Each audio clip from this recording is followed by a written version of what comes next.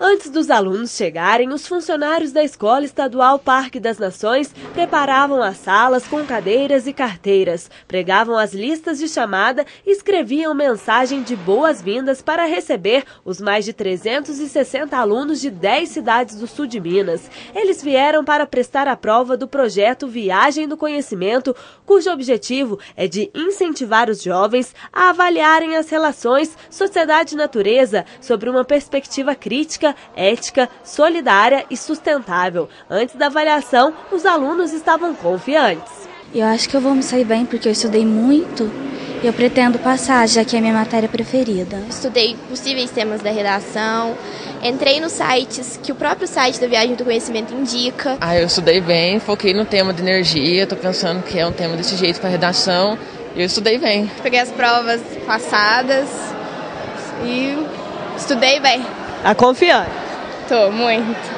A Viagem do Conhecimento é uma competição estudantil idealizada pela revista National Geographic Brasil, dirigida a alunos matriculados no oitavo e nono anos do ensino fundamental e no primeiro do ensino médio. Como consequência, a Viagem do Conhecimento busca contribuir para a melhoria da qualidade de ensino nas escolas. Com isso, os professores acreditam que é fundamental a participação dos alunos com bons conhecimentos. A motivação que hoje anda embaixo né, na escola, de modo geral, na educação, eles estão bem menos motivados. Essa prova incentiva, motiva, faz com que eles despertem um pouquinho mais e busquem novos horizontes. Essa prova é interessante porque, além de estar tá de estar tá testando o conhecimento dos alunos, ela também pode ensinar, porque ela, em todas as questões existem textos introdutórios que informam sobre assuntos atuais, né, bastante interessantes. O tema da redação também, normalmente é um tema que pode cair no vestibular, vai estar tá treinando eles para o Enem também, né?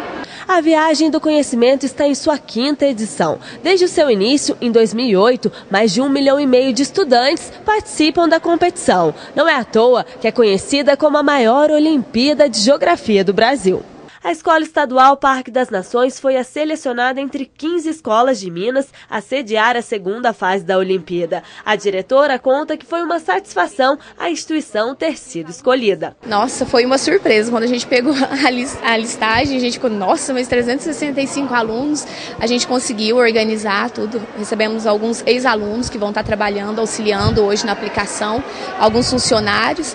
Então, está todo mundo empenhado para que seja tudo de bom para eles. A prova começou às 10 da manhã e foi até a 1 da tarde, com uma avaliação de múltipla escolha composta por 25 questões, além de uma redação.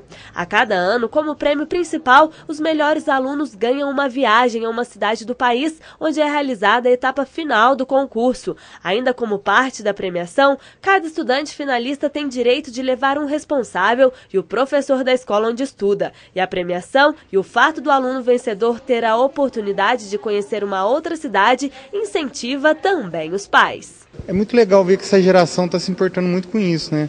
Eu acho que o que está movendo o mundo hoje é conhecimento, né? Eu acho que conhecimento leva a pessoa sempre para frente, né?